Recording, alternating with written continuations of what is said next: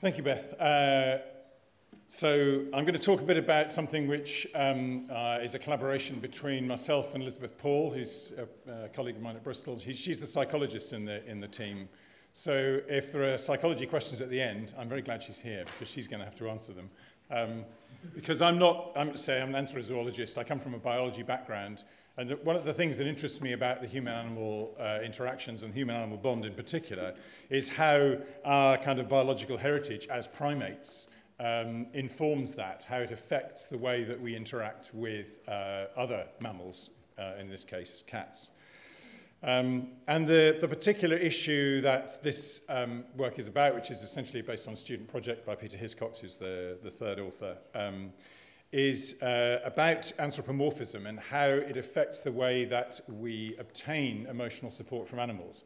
The kind of um, simplistic view might be that uh, we um, project ourselves, our, project our emotions um, and, uh, and so on onto animals uh, as if they were little people, and then we get back essentially a reflection of that. So we assume that they love us, and therefore they do, and therefore we feel supported by them. Now, um, I, I'm not saying I believe that. I'm saying that's a kind of oversimplified, oversimplified uh, way of, of dealing with the situation, which perhaps some detractors of the human-animal bond might um, wish to espouse, but, but which, as scientists, we don't. We know there, are, that, that is, there is an element of truth in that, um, in the same way that Sam Gosling said yesterday, you know, that there is an, an element of anthropomorphism in the attribution of personalities to animals. Uh, but uh, in terms of emotional support from animals, I think there's, there's been relatively little work done on how much that depends on uh, whether we acknowledge the animal as being a, a, an independent entity with its own set of emotions, uh, senses, and everything else, or whether it is actually totally dependent on this mirror effect of, of us projecting emotions onto animals and then receiving them back again. so that is, um, that's what this is going to be about. Um, so just uh, to, to get a definition up, um, anthropomorphism being the attribution of human qualities to animals, that's the definition I'm going to work with. And um, the, the, the hypothesis then is we know that pets provide emotional support because people tell us they do, and I think we, should, we can take that at face value.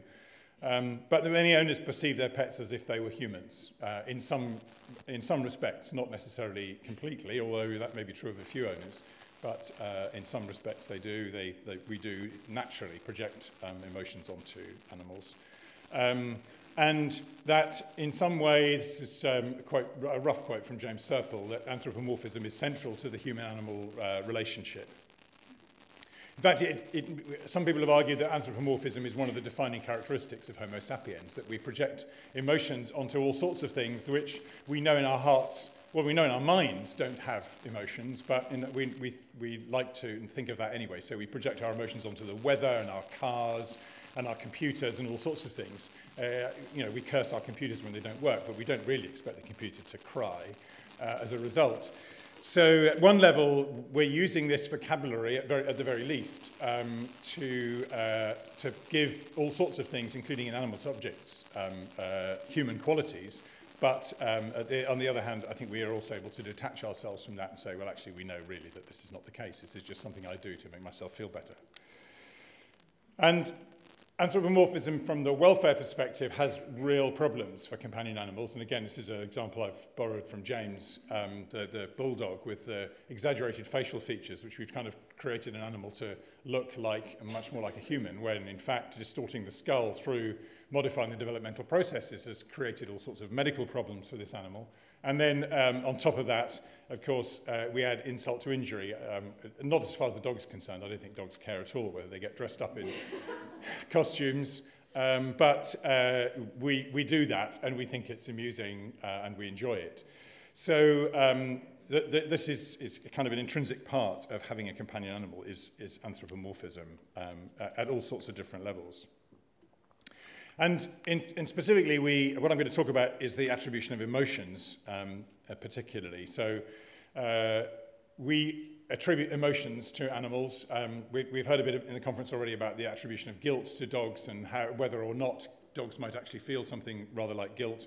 So I'm not going to, to dwell on this, but um, we, we do do this. Most owners will say, oh yes, I know exactly what my dog, uh, when my dog's done something wrong, I know because the dog looks guilty.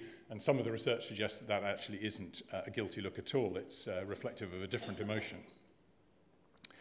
Um, so, uh, first of all, I'm going to start with some research done by uh, people at Portsmouth University. Um, uh, Paul Morris and his colleagues, on attribution of emotion. So this is going to be our kind of baseline, is what kinds of things do owners actually think uh, animals, and in this case cats, are actually capable of feeling. And I'm going to divide these, this is um, a, a, a categorization that Liz has done for this paper, uh, into three kinds of emotions. So basic emotions, which are kind of, which you might call gut feelings, things that don't require self-awareness, um, like fear and anxiety. Relational emotions, which require, at the very least, the ability of the animal to understand that it is a separate entity from the rest of the world, and that there are other living entities in that world. Whether or not it has a theory of mind would be another question. But things like jealousy require that uh, a certain level of self-awareness. And then at a more complex level, self-conscious emotions, which require internalized cognitive or even possibly conscious rules to compare the, for the animal to compare its, its current behavior and its past behavior and a set of rules that it's derived from something, um, uh, whether that's simply just the learning of the consequences of previous actions that were of roughly the same kind. And, and things like uh, guilt and pride are, are, are two um, uh, obvious examples of this kind of emotion. And uh, what um, Paul Morris and his colleagues found was that many people, many owners, actually uh, have fairly um, powerful views about, fairly well-held views about what kinds of emotions their animals can feel, and that um, cats uh, are believed, for example, yes, uh, I think we'd all agree, or most people would agree in this room anyway, that they're not Descartesian machines, that they're capable of feeling fear and possibly anxiety, but that many owners also believe that um, cats are, are capable of jealousy. Not so many think about think uh, they're capable of guilt, although most people think dogs can feel guilt. Uh, and um, uh, cats, and particularly horses, uh, are thought to be uh, uh, animals capable of feeling pride. So it's a, it's a, this is really the starting point from this study. The idea that it is widespread among pet owners that to, to think that animals have an emotional life which is essentially human-like, Uh, I'm not saying they all do. Obviously, there, there, are, there are people within that sample who didn't, particularly with the more complex emotions. But there are many people who, in fact, a majority of owners um, in many cases, who thought, yes, these emotions are certainly within the repertoire of my animal.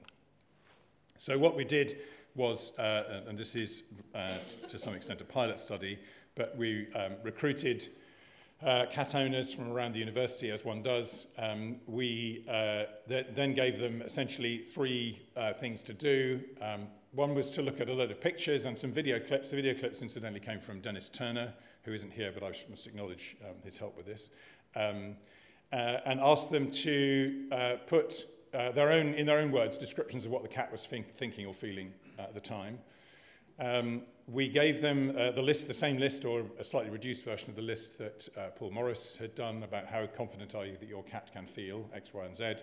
And then we asked them about emotional support. How much emotional support do you get from your cat under nine different situations? So that's, this is an example of, of each, or examples of each one of those. So there's a cat picture um, with, uh, above it, there's a question about what is your, this cat thinking or feeling at this particular moment. Um, And uh, the, the one below is, is how confident are you? That's from, from Paul Morris. And the one on the right is our help and, and support the nine situations where we, and, and then we just add those up. We've done some um, validity testing on this, and it's really a single scale. There's no subscales within those nine items. Uh, people just tend to score some more than others because of their own personal circumstances. Okay, so um, coming on to the results then, uh, so this is the, um, the beliefs, so this is just a, really a replication of Paul Morris's work. What kinds of emotions do you think your cat can feel? How confident are you that they can feel that? Uh, and the higher the score, the more the confidence in the owner. Um, so the basic emotions which we've amalgamated just for, for sake of simplicity, uh, yes, uh, the maximum score is five, so most people indeed think their cats can feel fear and anxiety and joy and love and, and those kinds of emotions.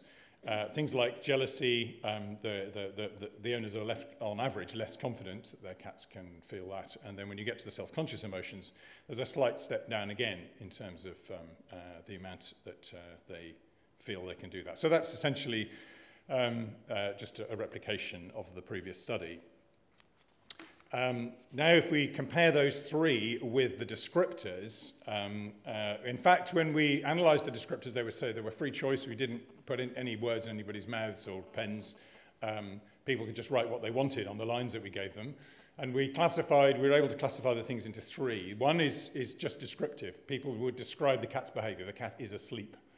Uh, secondly, um, they would describe the cat's emotional state. Uh, they would say um, uh, uh, the cat is happy.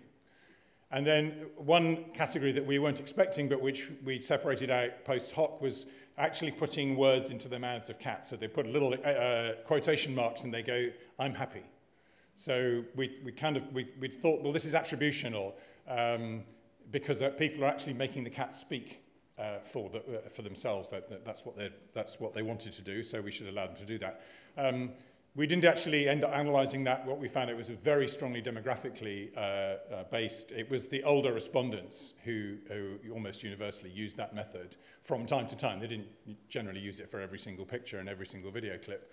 But the, one, the people who used that occasionally were older respondents. Uh, and so we just had to disregard that because of that bias, that, that there could be other biases creeping in because of that. So um, the, the behavioral descriptors really um, didn't tell us very much. What we were interested in was the emotional descriptors, where people had actually spontaneously written down, my cat is feeling X, Y, Z. Um, and then did linear regressions with, with those people's scores for each one of those three types of um, uh, beliefs in um, emotions, in basic emotions, in relational emotions, and self-conscious emotions. And we found that the extent to which people used emotional descriptions for, their, for the cats in the pictures um, uh, was quite strongly related to how strongly they believed the basic emotions were there, uh, which is interesting because the basic emotions is actually a very compressed scale. As you can see, the, the median is right up at the top. So the mere fact that we actually got a relationship there was a slight surprise to me, but it's clearly in the, in the direction you'd expect. Um, the, the, the more they use emotional descriptors, the, the stronger they believe um, the cats can feel basic emotions. The same is true as, of relational emotions. Um, again, the, the more they believe um, the cats are capable of feeling relational emotions, the more likely they are to use emotional descriptions when describing cats. But it was not true of the self-conscious emotions, and, and we don't think there's any kind of statistical problem underlying this was a very wide range of scores for both self-conscious emotions and also for emotional descriptors. So um, we were able to, uh, I think uh, just quite an interesting observation, which is, is, I think, something we're still working on interpreting. But it does suggest that there is not just this one-to-one -one, uh, relationship between emotional, uh, put, uh, uh, attributing emotions to cats and uh, describing cat emotions.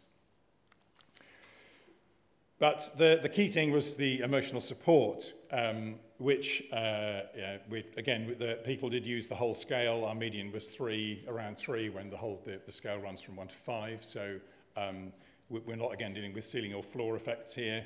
Um, uh, so people don't, the, the owners we had, some of them relied a lot on their cats for emotional support, others uh, very little indeed. And then we, we correlated that with the beliefs in um, the emotions. And the only one, uh, if I maybe just uh, start at the bottom and work upwards, um, the emotional descriptions of images and emotional support were not related at all. So there was just simply no correspondence, which you would have expected there to be a correspondence if the anthropomorphism hypothesis was true, that people only get emotional support from their cats if they believe and spontaneously express uh, that their cats are emotional animals. We didn't find that. Likewise, with their beliefs in the more complex kinds of emotions, again, that was not related to emotional support. So again, uh, kind of contradicting the, uh, the anthropomorphism, the pure anthropomorphism hypothesis, that everything is just a reflection back. The only, the only relationship we did find, which was, which was robust, was that with basic emotions. And so basically what, what this means is that people who, and I, I'm going to turn it on its head, people who don't get much emotional support from their cats, so my cat is there, but I don't rely on it in any way. Uh, it's not really a relationship. I have a cat. Maybe it's somebody else's cat in the household. Those people um, uh, don't uh, have the lowest scores for the basic emotions, so they're detached possibly from cats in general. They're not even sure that cats are emotional animals. They're not 100% confident that cats are emotional animals. So these may be just people who are rather ambivalent about cats in general. Um, so believing that a cat is not a Descartesian machine seems to be important to get emotional support from it. But projecting your own emotions, the, the, the tendency to project your own emotions onto your cat is not important for, or not related to anyway, getting emotional support back. So the two things are not simply mirror images of one another. They are independent. Uh, what factors determine each one individually is have to be the subject for some future research. But um, at the moment, it doesn't look as if, from this limited data, as if anthropomorphism is essential for getting emotional support. Uh, and so this is just um, a summary. So most owners spontaneously say, yes, my cat is capable of feeling all kinds of emotions, which we might think, uh, as scientists, speaking for myself anyway, some of them might be somewhat dubious, but uh, people do. Um, but they're less sure about the more complicated ones. And uh, getting emotional support back from a cat, having a strong relationship which gives you a, a good feeling, is dependent on believing the cat has an emotional life of some sort, but not that it's particularly sophisticated. That doesn't seem to, to, um, to, to be true at all. So I think, you know, if you had to sum this up, uh, if I have, as I've tried here, is empathy but not anthropomorphism is, is, required for, for emotional support. And so what anthropomorphism does is, is a going to be a, a new question. Thank you.